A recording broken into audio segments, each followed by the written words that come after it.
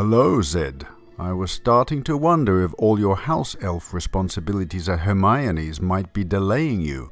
Have you brought the leather journal so that I can give the covers a nice polishing up this week?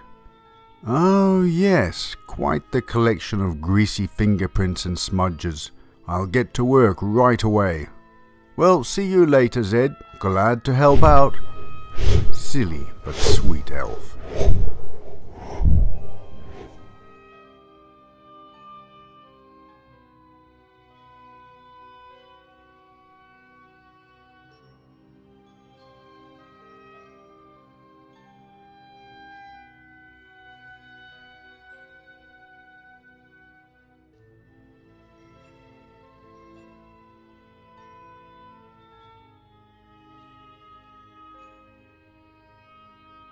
So I wonder what the brilliant Miss Granger is researching this week. So, let's see.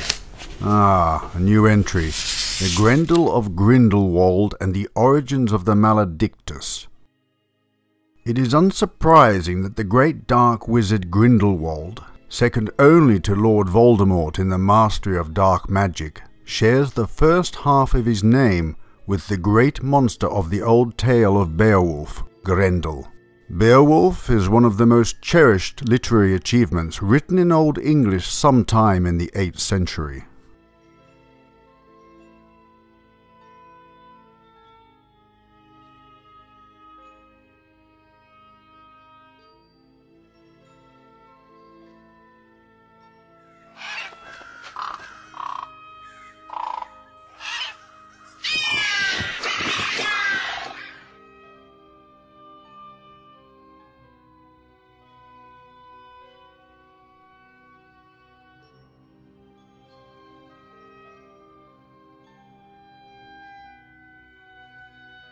Without recounting the entire story of Beowulf, we learn that Grendel is a murderous monster that plagues the King of Denmark by showing up after every beer bash at the Mead Hall and murdering everyone he can catch.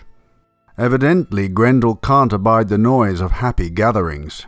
It is said the monster has a hulking, vaguely human appearance. Beowulf, the hero, arrives and, without weapons, kills the monster Grendel.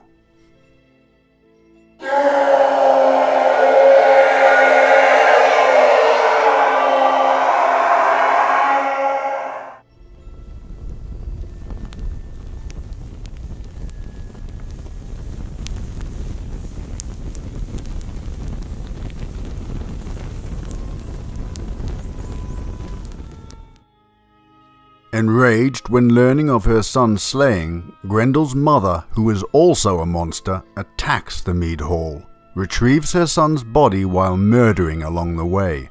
Beowulf hunts her down in her lair beneath the lake and slays her as well.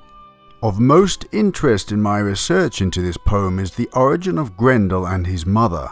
They are said to be descendants of Cain. Cain is the son of Adam and Eve of the Old Testament, known for killing his brother in a jealous rage. Cain's punishment for fratricide was that he should wander the earth with a visible mark upon him so that no one would kill him, as he was not to be put out of his God-ordained miserable and lonely existence.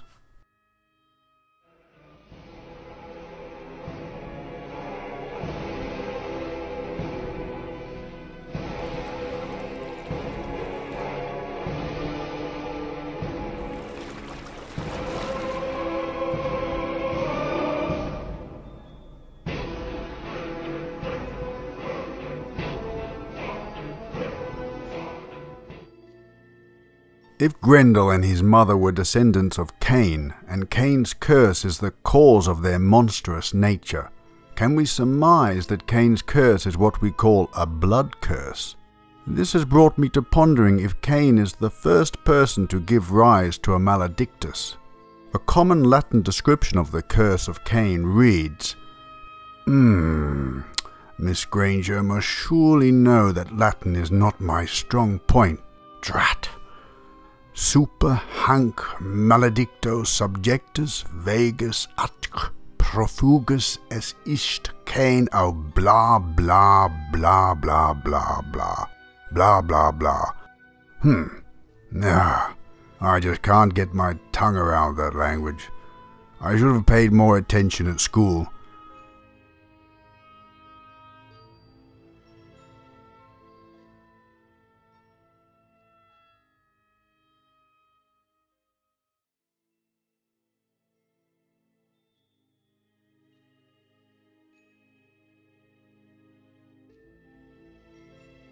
The express use of the Latin term maledicto in describing Cain's curse reinforces my suspicions, bringing this full circle to Grindelwald. Certainly, wizarding history can characterize Grindelwald's crimes as monstrous, but is it possible that further research will show an explicit association with maledicti? Of course, it is possible that Grindelwald's name is purely a product of his family being descended from the ancient Swiss town of Grindelwald.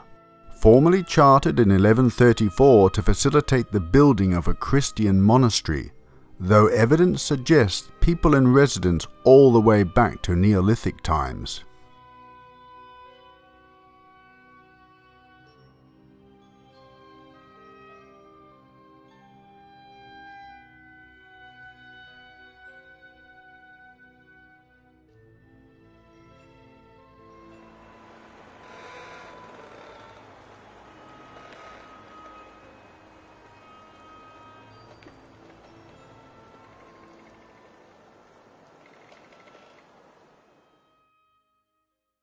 Finally, the story of Beowulf is incomplete if I fail to mention that the hero meets a third monster after Grendel and his mother. Beowulf meets a dragon, and while Beowulf succeeds in slaying the dragon, he succumbs to his wounds from battle and dies. Hmm, dragons.